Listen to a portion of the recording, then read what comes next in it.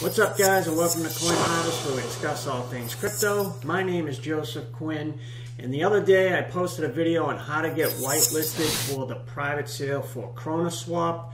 If you followed that video and filled out the whitelist form, here's I just wanted to follow up with that and show you how to check if you made the whitelist. So you're going to head on over here to GitHub. I will leave the link in the description below. And you're going to check uh, if you were part of the seed, um, the seed funds, you will receive an email. Your address won't be posted on GitHub. If you were part of the private sale A or B, uh, you can check that here on GitHub. You're just going to click on each one. Uh, Control F if you're on a Windows uh, machine and Command F if you're on a Mac. You're going to go and copy your address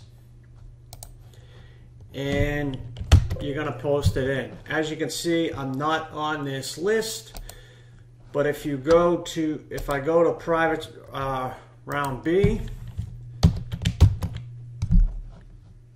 and paste it in,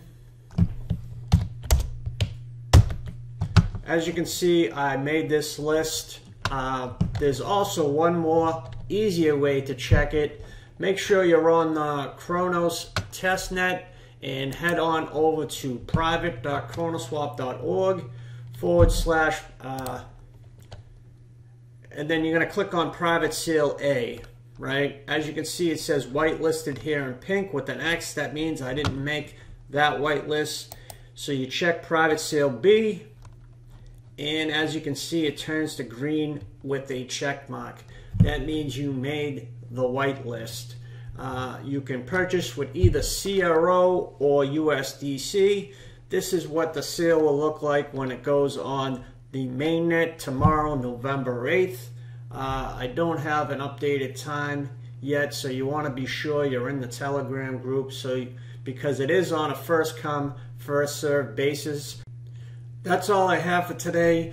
Be sure to check out our previous videos. If you like this video, be sure to smash that like button. If you want to see more videos like this, be sure to subscribe. Come and join us in the Telegram group. Be safe when farming, and I'll see you in the next video.